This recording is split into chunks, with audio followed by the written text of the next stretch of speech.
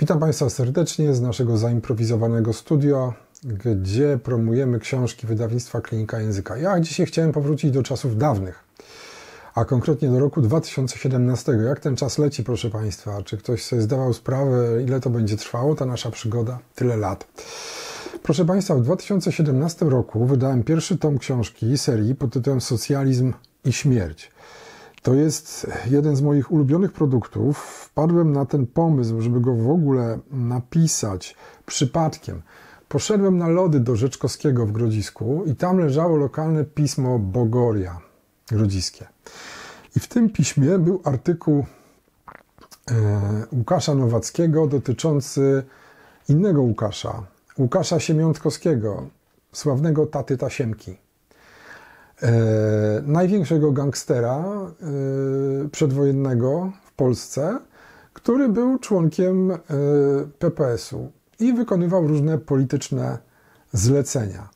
Ja e, o Tasiemce słyszałem piąte przez dziesiąte, a kiedy sobie przeczytałem ten artykuł, postanowiłem, postanowiłem napisać tę książkę i myślałem, że wyjdzie mi z tego jeden tom pod tytułem Socjalizm i śmierć, ale jak zacząłem pracę, no to tych tomów, proszę Państwa, wyszło trzy.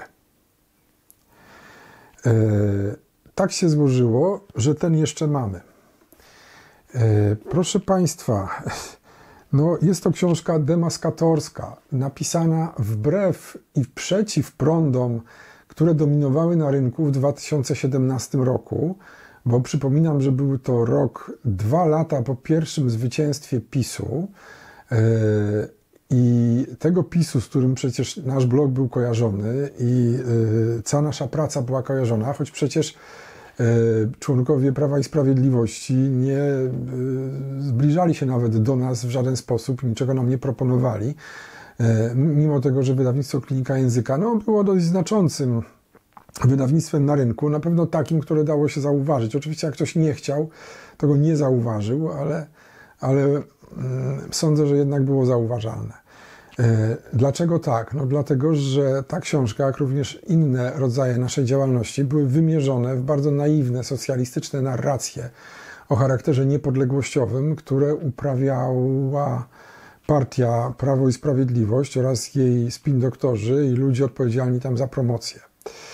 E, ponieważ mamy dzisiaj sytuację diametralnie odmienną, to znaczy znaleźliśmy się w roku 2014, mimo że mamy rok 2024 i e, PiS przegrał wszystkie narracje, którymi dysponował i które go wyniosły do władzy, pokładając ufność, a raczej zadufanie w ludziach, którzy do zwycięstwa nie przyczynili się wcale, natomiast e, z jakichś powodów uważają, że tak właśnie było. Wszystkie nośne, wartościowe, istotne treści zostały pogrzebane a wyniesiono jakieś e, bajki. E, proste historie dla naiwnych frajerów, które nie mogły niczego pociągnąć, nie mogły nikogo zainspirować i nie mogły nikogo doprowadzić do sukcesu. E, oczywiście politycy nie wierzą w to, że narracja jest ważna, chociaż wynajęli profesora Andrzeja Nowaka do tego, żeby pisał wielką historię Polski, PiS wynają, bo narracja jest ważna. I jak ostatnio rozmawiałem z profesorem Nowakiem na ostatniej naszej konferencji, no to rozmawialiśmy wyłącznie o narracjach, bo narracje są najważniejsze.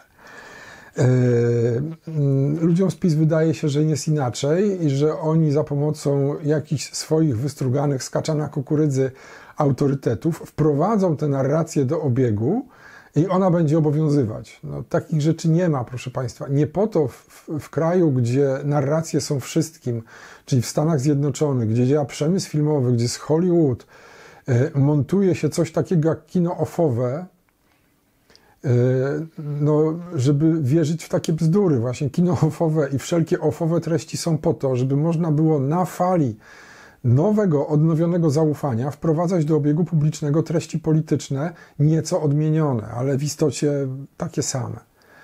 E, dlatego, że propaganda oficjalna nudzi, nuży i nie budzi zaufania. Natomiast w Polsce jest dokładnie odwrotnie. To znaczy, w Polsce e, ludzie, e, socjaliści z rozmaitych partii uważają, że jeżeli wykreowani przez nich, no, brakuje mi słowa, powiedzmy, kierownicy, No, jeżeli wykreowani przez nich kierownicy powiedzą coś, to to będzie miało wartość zaklęcia, które jest w stanie odmieniać losy ludzkości. No to, to jest idiotyzm, dlatego że to jest w ogóle poza socjotechniką, a przede wszystkim poza uczciwością. Poza uczciwością jest takie postawienie kwestii. Yy, I wielokrotnie już rzeczywistość yy, mówiła do tych ludzi: sprawdzam, a oni dalej swoje, dlatego że przemożna wiara w siebie ich gubi, a jak wiemy, pycha kroczy przed upadkiem. No dobrze, ale wracajmy do naszej książki. Tomek Bereźnicki jak zwykle wzbił się na szczyt swoich możliwości. Ten pan to jest Bert Lancaster. Nie wiem, czy ktoś pamięta takiego aktora. Amerykański komunista wysługujący się bolszewikom z Moskwy.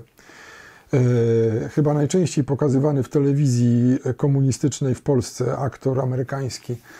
Był jakiś taki, taki film, był dokumentalny o zwycięstwie e, Związku Radzieckiego nad faszyzmem. Nazywał się Nieznana Wojna. Puszczali to w niedzielę po południu i o wszystkim tam było, tylko nie o Polsce. Ale wszyscy musieli ten film oglądać. Proszę Państwa, jednym z głównych bohaterów tego filmu był Leonid Breżniew, a narratorem był e, Bert Lancaster właśnie.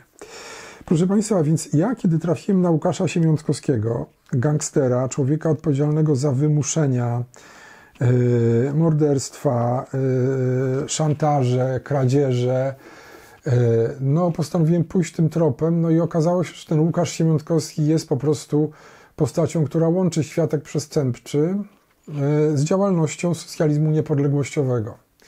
To mnie trochę zdumiało, dlatego że no nie przypuszczałem, że to jest aż tak bliskie.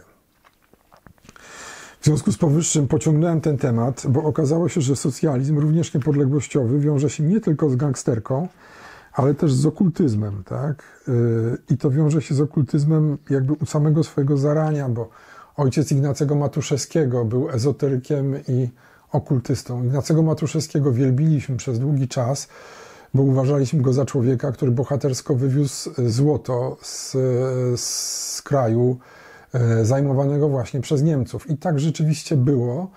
Natomiast no, Ignacy Matuszewski, oprócz tego, że był bardzo zdeterminowanym i zdecydowanym oficerem, e, to jeszcze był człowiekiem świętej naiwności, a do tego miał przeróżne słabości e, dotyczące spraw damsko-męskich, które go politycznie dyskwalifikowały. No i to jest, proszę Państwa, trzecia sprawa, że mamy cały garnitur polityków międzywojnia, cały garnitur bohaterów socjalistycznej niepodległości, którzy nie są w stanie uporządkować sobie życia osobistego.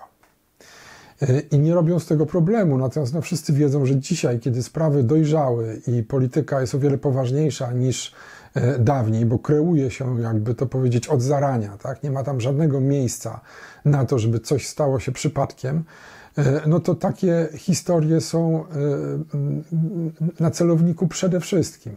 Przede wszystkim, więc jak Ignacy Matuszewski Mm, e, związany ze sławną sportsmenką Haliną Konopacką, no, e, tworzy związek tak otwarty, że nie ma on nawet horyzontów, to trudno, żeby ktoś traktował Ignacego Matuszewskiego poważnie. Tak? Jako polityka, jako działacza niepodległościowego, e, a jeszcze z tego jego i no, tejże Haliny Konopackiej upodobań robi się jakąś taką e, pozytywną treść. Jacy to byli pra prawdziwi i do tego sympatyczni i mili ludzie. Proszę Państwa, my nie potrzebujemy sympatycznych i miłych ludzi, ale potrzebujemy ludzi zdecydowanych, e, świadomych tego, jakie czyhają na nich niebezpieczeństwa i potrafiących się tym niebezpieczeństwom oprzeć. Czy taki był Ignacy Matuszewski, syn okultysty, mąż tak zwanej silnej ręki, czyli najwybitniejszej polskiej sportsmenki międzywojna Haliny Konopackiej. E, no nie, chyba. Proszę Państwa, e, ponieważ e, mamy tutaj sprawy kłopotliwe, mamy tutaj sprawę jednego z największych bohaterów, który ma ulicę prawie w każdym mieście, czyli Stefka Okrzei, powieszonego na, sto, na stokach Cytadeli, tak? Stefan Okrzeja. W każdym mieście za komuny była ulica Stefana Okrzei. Rzucił bombę, złapali go, osądzili, powiesili carsty się patrzę. No Stefan Okrze, Okrzeja to był wuj e, rodzony Jana Olszewskiego, premiera e, znanego nam dobrze, który zmarł parę lat temu e, i który stał się dzisiaj symbolem niepodległościowych, prawicowych, konserwatywnych ruchów. Jak byliśmy na konferencji, którą zorganizowali Piotr Naimski i Antoni Macierewicz w maju, obaj przyjaciele Jana Olszewskiego, no to na sali, patrząc po twarzach, zgromadziła się E, właściwie sama współczesna, e, powiem brzydko, czarna sotnia polska, tak, czyli wszyscy konserwatyści nurtu narodowego, no oraz takie jakieś typy jak ja i mi podobne, nie licząc oczywiście ludzi ze struktur y, jakichś y, ustrukturyzowanych, że się tak oględnie wyrażę. No i pierwsza rzecz, jaką ustalono, to wskazano i przypomniano, że Jan Olszewski wywodzi się z nurtu socjalistycznego, tak? z nurtu socjalizmu niepodległościowego. Nazwisko Stefka Okrzej nie padło, no ale ci, którzy wiedzieli, to wiedzieli. To nie jest tak, że ja tutaj będę teraz deprecjonował rolę Stefana Okrzei. Miał on swoje pięć minut, swoją rolę do pełnienia. Oddaj mu hołd i cześć, ale nie czyńmy z niego symbolu, bo będzie to symbol kolejny już bezradności. Kolejny symbol bezradności. Oczywiście z socjalizmem wiąże się, proszę Państwa, feminizm i wyzwolenie kobiet, e, które to polegało na tym, że mm, e, feministki musiały wziąć odpowiedzialność za e, no, sprawy i decyzje niełatwe, czyli stanąć w pierwszej linii frontu. Czy to było dobre terrorystycznego frontu, czy to było dobre i czy się opłacało? Moim zdaniem nie. No ale miało charakter krótkotrwa, krótkotrwałej przygody. Jak wiemy, no, jest spora grupa dziewczyn, dla których krótkotrwałe przygody są treścią życia. I tak było niestety z socjalistkami.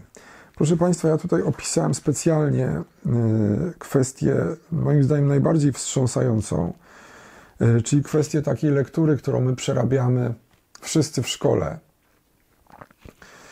która jest niezwykle dołująca, bo y, ona łączy w sobie wszystkie socjalistyczne patologie, które uważane są za zasługę.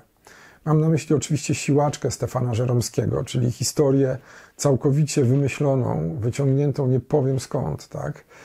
Y, opowiadającą o tym, że nauczycielka podejmuje trud uczenia dzieci wiejskich, ale ponieważ na wsi jest bieda, E, e, zaczyna chorować i w końcu umiera. No i e, jest tym bezkompromisowym, symbolem bezkompromisowej walki z analfabetyzmem, a przybywa do niej doktor, jej dawny przyjaciel, który jest serwilistą, przystosował się do otaczającego świata i nie rozumie, że muszą nadejść przemiany. Siłaczka, o czym nie każdy pamięta, kończy się obdarciem nagiego kobiecego trupa. Ja nie będę tutaj wnikał, co się było, co się działo w umyśle Stefana Żeromskiego, autora tej nowelki, ale wszyscy, którzy znają jego prozę, wiedzą, że Stefan normalny nie był. Niestety wszystkie pokolenia Polaków powojenne i przedwojenne zostały skazane na czytanie jego książek. I to się nie zmieniło i nie zmieni, bo wszyscy wylecą z kanonu lektur, z Henrykiem Sienkiewiczem włącznie, a Stefan tam zostanie. A teraz jeszcze na to nieszczęście i ten e, kataklizm narażone będą dzieci ukraińskie, które uczą się w polskiej szkole, szkole i one też będą musiały czytać Siłaczkę i inne nowele Stefana Żeromskiego. To jest groza. Proszę Państwa, kim była prawdziwa siłaczka? Prawdziwa siłaczka, Faustyna Morzycka, e, była kobietą 40-letnią i rzeczywiście zajmowała się nauczaniem dzieci wiejskich, co było za okupacji rosyjskiej nielegalne. Nielegalne, ale ponieważ nie można przy każdym dziecku postawić żandarma, a nawet jeżeli to ten żandarm bardzo chętnie przyjmie srebrną półrublówkę i uda, że niczego nie widział, bo jak pamiętamy, nie było bardziej skorumpowanych urzędników niż urzędnicy carscy. E, więc Faustyna Morzycka, która pracowała jako e, wolontariuszka ucząc wiejskie dzieci w Nałęczowie, mieście bardzo mi bliskim, bo moi dziadkowie są tam pochowani, no nie narażała się jakoś specjalnie, ale poznała socjalistów, no jak to często bywa młodszych od siebie. Jak to często bywa z e, kobietami w pewnym wieku, no jakby to powiedzieć, zauroczyła się ideologicznie. E, Stefan Żeromski e, pozbawił ją wszystkich jej cech i atrybutów, to znaczy uczynił z niej osobę, którą nigdy nie była. Ja Państwu pokażę zdjęcie Faustyny Morzyckiej.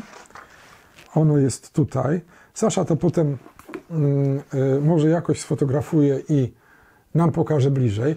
Faustyna Morzycka, bardzo sympatyczna pani, no, na tamte lata już w pewnym wieku, bo kobieta 40-letnia, no to już był, była raczej w smudze cienia dla ówczesnych ludzi. Faustyna Morzycka, proszę Państwa, została przeszkolona do rzucania bomb e, i e, nakłoniona do udziału w zamachu na jednego z carskich generałów. E, miała na ulicy Świętokrzyskiej, kiedy zatrzymała się limuzyna Uthofa chyba, policmajstra, rzucić na niego bombę z okna. Te bomby były straszliwe.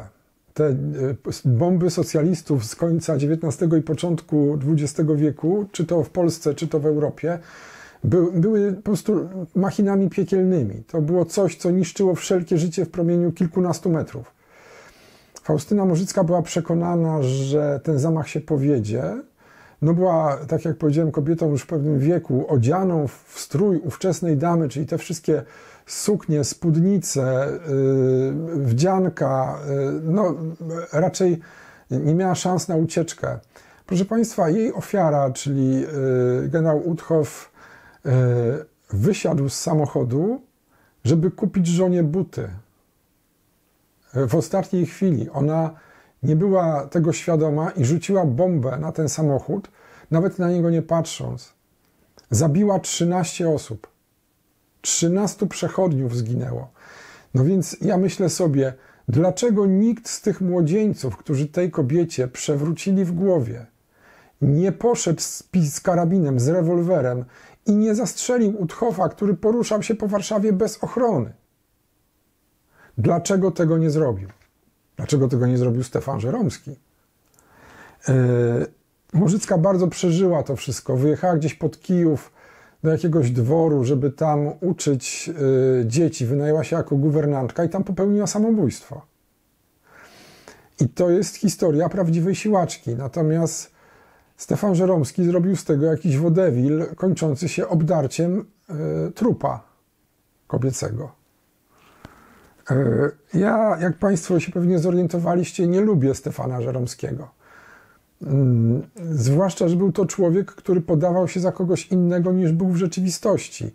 Ja przypominam, że on dostawał znacznie wyższe honoraria od wydawcy, czyli od Natansona, niż inni pisarze. Za tom wtedy dostawało się tam powiedzmy 60 rubli, a Stefan dostawał 500? Żebym dobrze powiedział, no ale w każdym razie ładnych kilkasetek. E, no, to były poważne sumy.